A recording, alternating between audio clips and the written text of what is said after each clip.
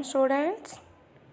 I am class teacher of LKG subject English or I am topic chubby chicks. So students today we will discuss about chubby chicks. Start now.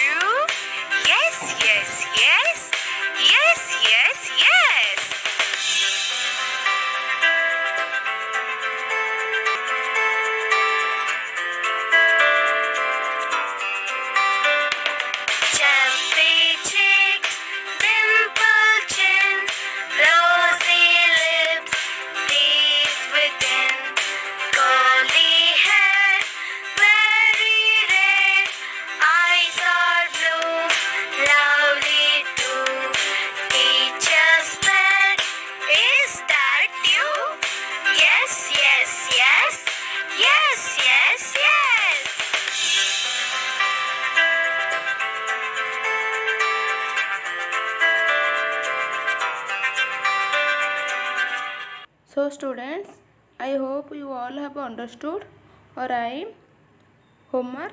Practice this rhyme again and again. Thank you.